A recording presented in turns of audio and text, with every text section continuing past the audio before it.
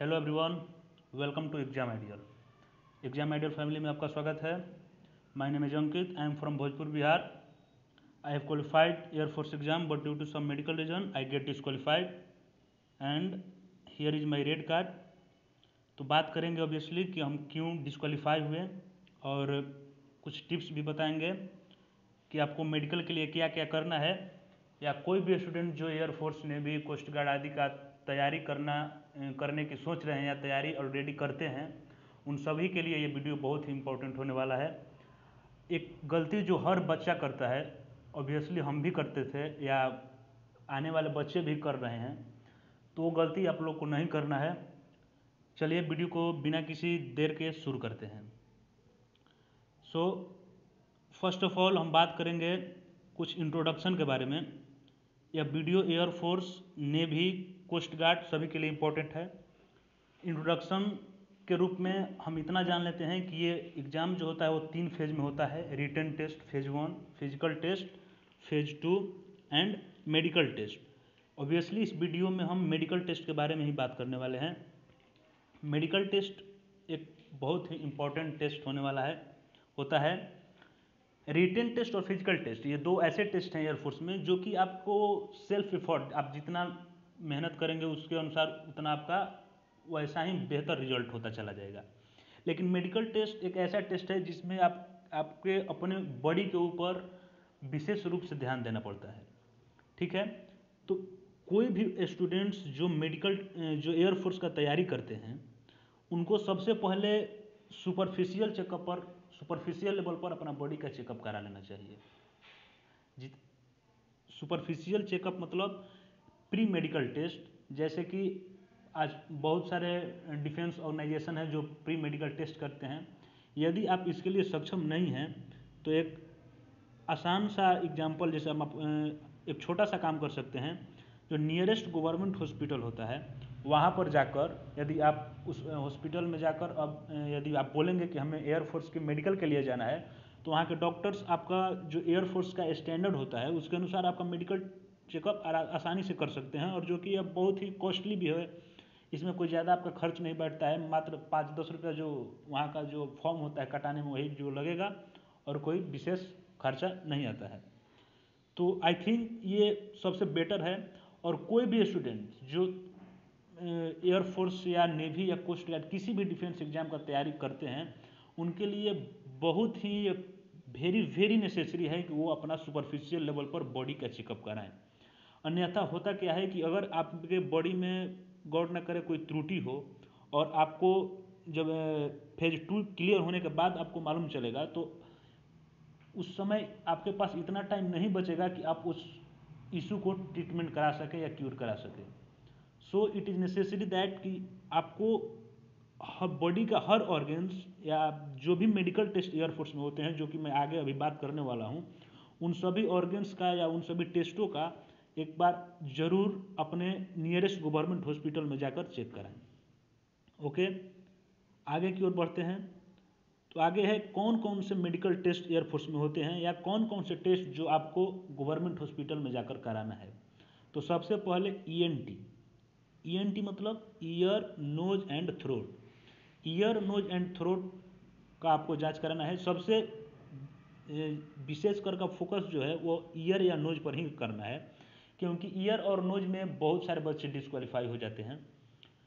Year में क्या होता है कि किसी भी स्टूडेंट का, जिनका कान के चदरे में छिद्र होता है या कान ईयर से पस निकलता है या सुनाई कम पड़ता है तो इसका जाँच कराएँ।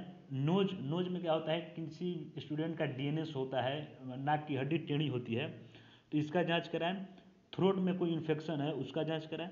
अगर ऐसा कोई इन्फेक्शन या ऐसा कोई त्रुटि आपके बॉडी में है तो इसका अवश्य जाँच कराएँ, उसका ट्रीटमेंट कराएँ। अगर आप पहले से ही जाँच करा कर उसका ट्रीटमेंट करा लेते हैं तो हंड्रेड परसेंट आपका वो बीमारी जो है वो ठीक हो जाएगा और आप एयरफोर्स मेडिकल में पास हो सकते हैं। दूसरा बात करें तो आई टेस्ट ये भी एक एयरफोर्स के लिए बहुत ही इंपॉर्टेंट टेस्ट है आई टेस्ट आई टेस्ट में क्या होता है? सबसे पहले विजन की जाँच होती है। विजन में जो आपका ईयर है, वो without spectacle six by six होना चाहिए। या बहुत सारे मेडिकल स्टैंडर्ड होते हैं। अलग अलग ट्रेड के लिए अलग अलग मेडिकल स्टैंडर्ड रखे गए हैं। किसी के लिए सिक्स बाई नाइन भी अलाउ है।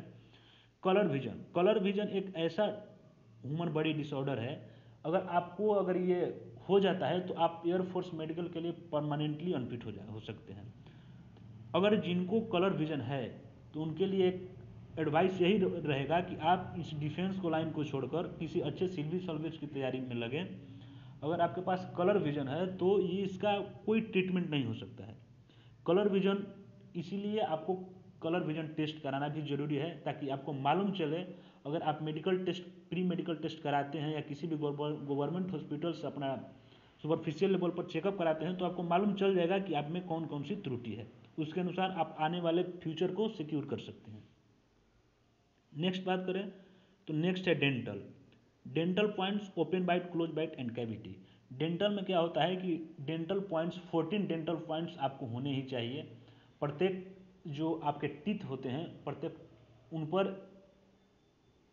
उन पर एक पॉइंट मिलता है और टोटल पॉइंट जो है वो आपको 14 से कम पॉइंट नहीं चाहिए।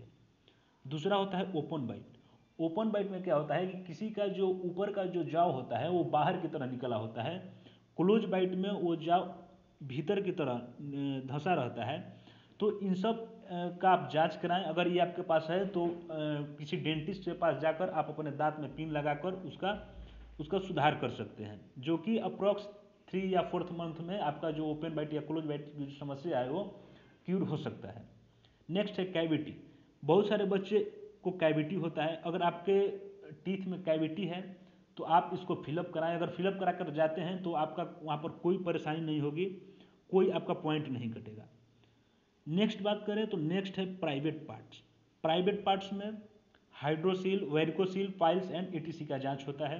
हाइड्रोसिल क्या होता है कि अगर आपका जो एक टेस्टिज है, दूसरे टेस्टिज के कंपेयर में बहुत ज़्यादा बड़ा होता है तो ये आपके लिए वहाँ पर समस्या खड़ी कर सकती है। वेरिकोसिल वेरिकोसिल में क्या होता है कि टेस्टी से जो नस ऊपर की ओर जो जाकर हमारे बॉडी में कनेक्ट रहता है, उस टेस्ट उस नस में कुछ त्रुटि आने के कारण वहाँ एक गुच्छा जैसा बन जाता है, जो कि एयरफोर्स मेडिकल में आपको यह समस्या कर सकती है। नेक्स्ट है पाइल्स पाइल्स आप समझते हैं होंगे बवासीर अगर आपको बवासीर है तो आप इसका ट्रीटमेंट कराएँ। और बहुत सारे ऐसे प्राइवेट पार्ट्स में ऐसे बीमारियाँ हैं, जैसे किसी का सिंगल टेस्टिज होना तो सिंगल टेस्टिज होना भी एक ह्यूमन बॉडी डिसऑर्डर माना जाता है, जो कि आपको मेडिकल रिजेक्शन की ओर ले जा सकता है। नेक्स्ट बात करें तो नेक्स्ट है blood test blood test blood test में platelets W B C R B C A T C की जाँच होती है। इसमें बहुत सारे स्टूडेंट मतलब इसमें बहुत कम स्टूडेंट ही इसमें निकलते हैं, ऐसा कोई इसमें पॉइंट नहीं मिलता है उतना। नेक्स्ट है यूरिन टेस्ट यूरिन टेस्ट भी नॉर्मल सा एक टेस्ट होता है। अब नेक्स्ट बात करें तो नेक्स्ट है flat foot flat foot carrying angle fractures skin infection disorder of body parts bow leg sweat palm इसमें दो चार ऐसे डिसऑर्डर या बीमारी या इलनेस हैं, जिनका आप रेगुलर एक्सरसाइज से भी उसका, उसको ठीक करा सकते हैं। जैसे बो लेग हुआ। बो लेग है, अगर आप रेगुलर एक्सरसाइज करते हैं फ़िज़िकल वर्क करते हैं तो ये बो लेग जो है वो दो, डेढ़ से दो महीने के अंदर ये आपका पूरा नॉर्मल हो जाएगा। स्वीट पाल्म अगर आपको है तो आप किसी भी स्किन के जो डॉक्टर्स होते हैं, उनसे मिलकर आप इसका ट्रीटमेंट करा सकते हैं। डिसऑर्डर बॉडी पार्ट्स, किसी भी बॉडी पार्ट्स जो है, वो आपका ऑर्गेनाइज रहना चाहिए, उसमें किसी प्रकार का डिसऑर्डर नहीं रहना चाहिए। स्किन इन्फेक्शंस, आपके बॉडी में कोई इन्फेक्शन तो नहीं है। फ्रैक्चर अगर आपको हुआ है तो आप उसका जाँच कराएँ, उसका कोई अभी तक कोई डिसऑर्डर, फ्रैक्चर के कारण तो आपके बॉडी में नहीं आया है। अगर कोई डिसऑर्डर नहीं आया है तो आप बिल्कुल मेडिकल के लिए फिट हो सकते हैं। नेक्स्ट है कैरिंग एंगल आपका हाथ जो है वो जो एल्बो है वो बहुत ज़्यादा टेढ़ा नहीं होना चाहिए। नेक्स्ट है फ्लैट फुट अगर आप अपने पैर को अगर पानी से भिंजाकर अगर चलेंगे तो आपको मालूम चल जाएगा कि आपको फ्लैट फुट है कि नहीं। जो जो फ्लैट अथी ये होता है फुट होता है, उसके पैर के अंदर एक खड्डा जैसा बना रहता है, जो कि एक प्रत्येक ह्यूमन के अंदर ऐसा होना अनिवार्य है। अगर आपके अंदर ये पूरा फ्लैट है, ये तावा जिसको बोलते हैं, अगर पूरा फ्लैट है तो आप एयरफोर्स मेडिकल में रिजेक्ट हो सकते हैं। अब नेक्स्ट मेडिकल की बात करें तो नेक्स्ट है ECG ECG and BP ECG और बीपी जो है, इसमें बेसिकली आपके हार्ट बीट को देखा जाता है। ईसीजी जो है टोटली आप पर डिपेंड करता है कि आप ईसीजी के टाइम पर कैसा बिहेव करते हैं। अगर आप बहुत सा ज़्यादा फ्रस्ट्रेट हो जाते हैं या बहुत सारा स्ट्रेस ले लेते हैं अपने आप पर तो ऑब्वियस बात है कि आपका ईसीजी का जो ग्राफ जो बनता है वो आपके लिए आपका बियॉन्ड द लिमिट बन जाएगा, जिसके जिसके कारण आप मेडिकल में रिजेक्ट हो सकते हैं। इसीलिए ईसीजी करते समय आप ध्यान दें कि आप हमेशा हैप्पी मूड में रहें उस समय उस समय मुस्कुराते रहें, ज़्यादा स्ट्रेस ना लें स्ट्रेस फ्री रहें। एंड बीपी ये एक नॉर्मल सी जाँच होती है टेस्ट होती है, जिसमें आपको बीपी की जाँच होती है।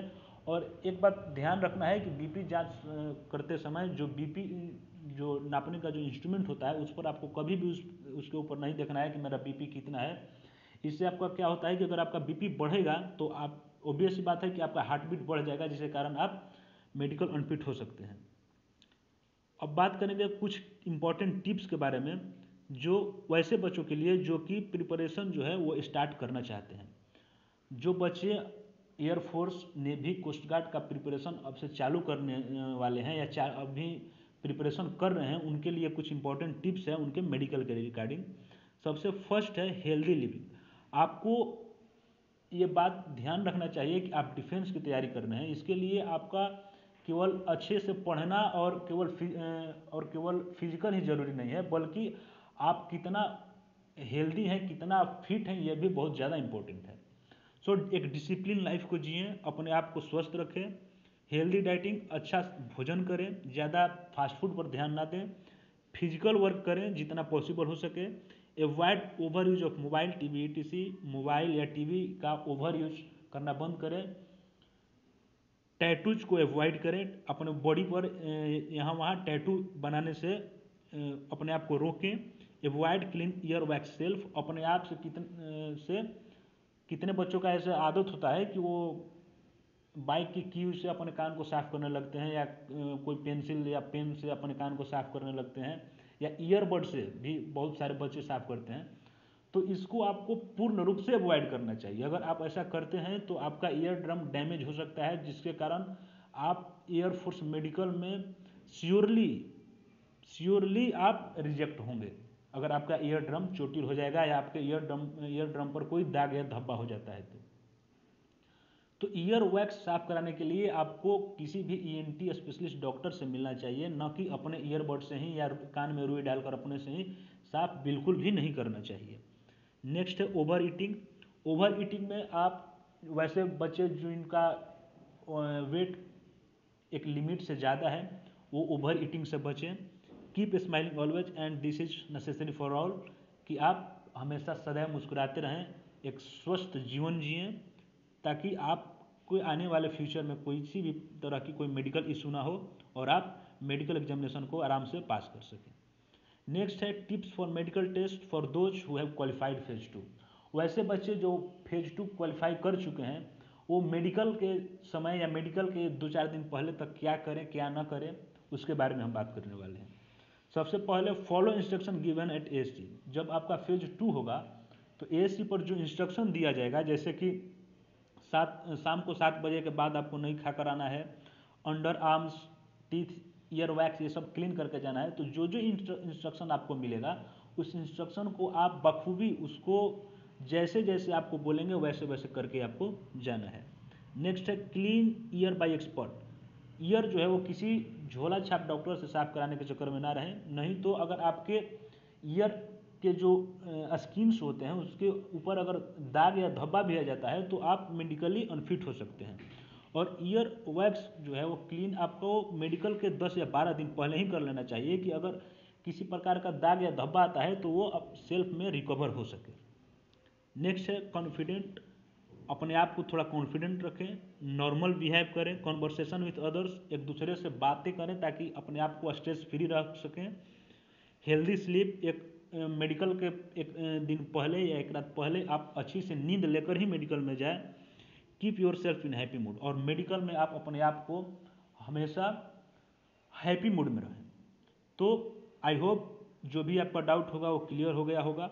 अगर इसके बाद भी अगर आपका कोई डाउट बचता है या आप हमसे कोई सलाह लेना चाहते हैं या कोई क्वेश्चन अगर आपके मन में है जो हमसे पूछना चाहते हैं तो आप बेसिकली हमारे WhatsApp number nine zero six zero seven nine seven six four nine पर हमें व्हाट्सअप कर सकते हैं।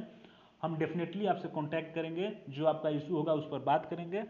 थैंक यू एंड जय हिंद अगर आप नए हैं यूट्यूब चैनल पर तो इस चैनल को सब्सक्राइब करें, अपना सपोर्ट करें वीडियो को लाइक करें।